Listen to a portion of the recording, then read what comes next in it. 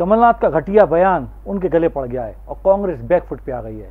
पूर्व मुख्यमंत्री कमलनाथ की इमरती देवी को आइटम कहने के विरोध में मुख्यमंत्री शिवराज सिंह समेत भाजपा के कई नेताओं ने दो घंटे का मौन व्रत रखा। इस दौरान शिवराज सिंह चौहान ने कमलनाथ को निर्लज बताते हुए कहा कि जिस भाषा का उपयोग कमलनाथ ने एक अनुसूचित जाति की महिला के लिए किया है, उससे पूरे देश की माँ बहन के सम्मान को ठेस पहुँची है। पूर्व मुख्यमंत्री कमलनाथ के घटिया बयान के खिलाफ बीजेपी ने जगह जगह मौन धरना दिया। भोपाल में मुख्यमंत्री शिवराज सिंह के साथ मंत्री नरोत्तम मिश्रा, कमल पटेल भूपेन्द्र सिंह, विश्वास सारंग और भाजपा नेता मिंटो हॉल में गांधी प्रतिमा के पास धरने पर बैठे। मुख्यमंत्री शिवराज ने कहा, जिस समय सब नवरात्रि में माँ की आराधना में लगे हैं, उस समय कमलनाथ का इमरती देवी पर अभद्र टिप्पणी करना कहाँ तक सही है? उन्होंने कहा, कमलनाथ ने यह अभद्र टिप्पणी एक बार नहीं, दो बार की। और जिस समय ये टिप्पणी की जा रही थी, उस समय कांग्रेस कार्यकर्ता ठाके लगा रहे थे। किसी महिला पर अमर्यादित टिप्पणी करना और उस पर ठाके लगाना बड़ी निर्लजता का कार्य है। ये भारत देश की मिट्टी के संस्कार नहीं हो सकते।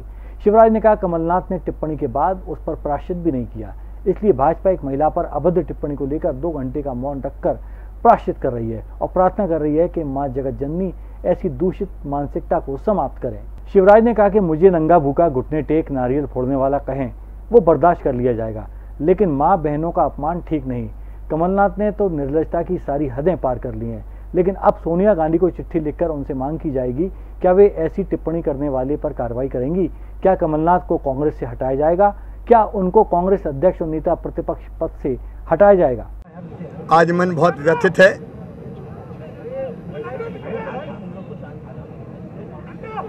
वेदना और तकलीफ़ से भरा हुआ है। नवरात नवरात्रि का पावन पर्व चल रहा है। देश और प्रदेश की जनता माँ, जगत जननी की आराधना में भक्ति में लगी हुई है। लेकिन इसी नवरात्रि में मध्य प्रदेश के पूर्व मुख्यमंत्री श्री कमलनाथ जी ने कल जो अमर्यादित टिप्पणी मध्य प्रदेश की महिला बाल विकास मंत्री बहन श्रीमती इमरती देवी के खिलाफ।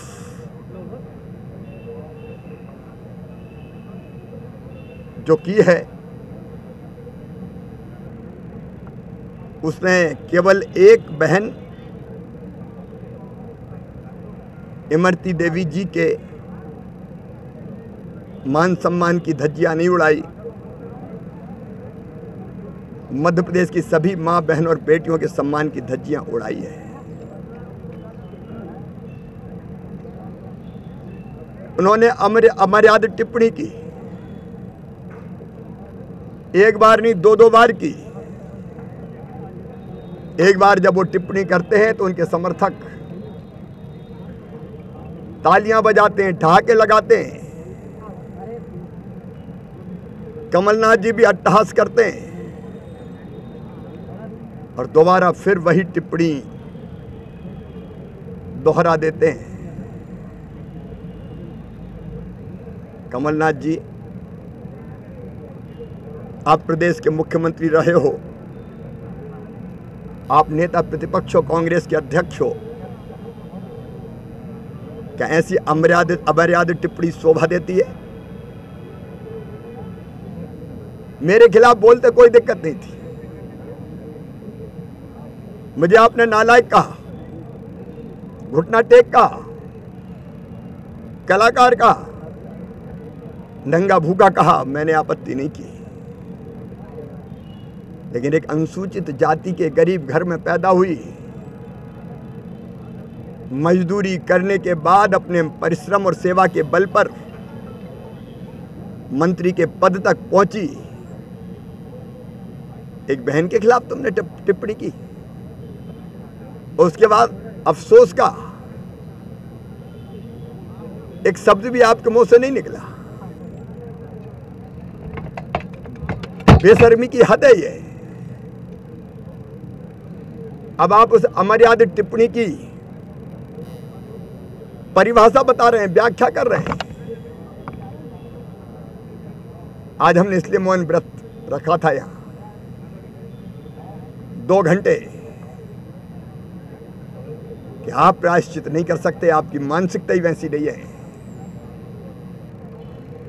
आपके संस्कार ये मध्य प्रदेश और भारत के संस्कार नहीं है। लेकिन हम प्रायश्चित करेंगे। मोहन डक्कर हमने जगत जननी माँ से प्रार्थना किया कि माँ ऐसी कुत्सित मानसिकता को समाप्त करना। इस संकल्प के साथ कि माँ बहन और बेटियों का अपमान नहीं होने देंगे। अब कमलनाथ जी से तो कोई उम्मीद है नहीं। निर्लजता की सीमाएँ उन्होंने लांघी है। लेकिन कांग्रेस की अध्यक्षा श्रीमती सोनिया गांधी जी को मैंने पत्र लिखा है। मैं उनसे पूछना चाहता हूँ। आप कांग्रेस की अध्यक्ष हैं, आप महिलाएँ आप माँ बहन और बेटी भी हैं। आपकी पार्टी के नेता ने, जो प्रदेश कांग्रेस के अध्यक्ष नेता प्रतिपक्ष मुख्यमंत्री रहे हैं, जिनके नेतृत्व में आपकी पार्टी चुनाव लड़ रही है, क्या ऐसी टिप्पणी जायज़ है उनके द्वारा करना? क्या इस टिप्पणी ने आपके मन को व्यथित नहीं किया? कि एक अनुसूचित जाति की दलित बहन के अपमान से आपके मन में वेदना पैदा नहीं हुई? अगर आपको लगता है, आदरणीय बहन श्रीमती सोनिया गांधी जी, कि ये टिप्पणी गलत है तो आप तय करें आप श्री कमलनाथ जी के खिलाफ क्या कार्रवाई करेंगी। उनको अध्यक्ष पद से हटाएँगी, उनको नेता पद से हटाएँगी, ये पार्टी से निकालेंगी। और अगर आप कुछ नहीं करती है तो ये माना जाएगा कि आपकी पार्टी और आप भी उनकी टिप्पणी के समर्थन में है, उससे आप सहमत है। मुझे विश्वास है कि आप मेरी बात का उत्तर ज़रूर देंगी। भाजपा प्रदेश प्रवक्ता नेहा बग्गा ने कमलनाथ की इस टिप्पणी को लेकर विरोध जताया और कहा कि कांग्रेस पार्टी की यह हमेशा से मानसिकता रही है। कांग्रेस ने हमेशा महिलाओं का अपमान किया है। कभी महिलाओं को टंचमाल कहना, कभी आइटम कहना, ये कांग्रेस के संस्कार हैं। कमलनाथ को पता है कि चुनाव में उनकी हार तय है। इसलिए वे अपनी खींच निकाल रहे हैं। बड़े शर्म की बात है कि एक दलित अनुसूचित जाति की महिला के ऊपर इस तरह की अभद्र टिप्पणी की गई। देखिए, मध्य प्रदेश का दुर्भाग्य है कि मध्य प्रदेश को कांग्रेस की ओर से दो ऐसे मुख्यमंत्री मिले। पूर्व में कमलनाथ जी, जिन्होंने कल इमरती देवी को आइटम कहा है, और इससे पहले दिग्विजय सिंह जी, जिन्होंने अपनी ही पार्टी की एक महिला नेत्री को टंचमाल कहा था। कमलनाथ जी ये बताता है कि कमलनाथ जी सरगना हैं जो उनके संस्कार हैं महिलाओं को लेकर बहुत ही विकृत मानसिकता रखते हैं। संगीत की स्वर लहरियों से सांस्कृतिक ताने बाने तक चंबल के पीड़ों से नक्सलवादियों के गढ़ तक झोपड़ी से महलों तक ठेलों से मेलों तक पगडंडियों से सड़कों तक गाँव से शहरों तक व्यापार से उद्योगों तक राजनीति से कूटनीति तक। दखल न्यूज़। आपके हक।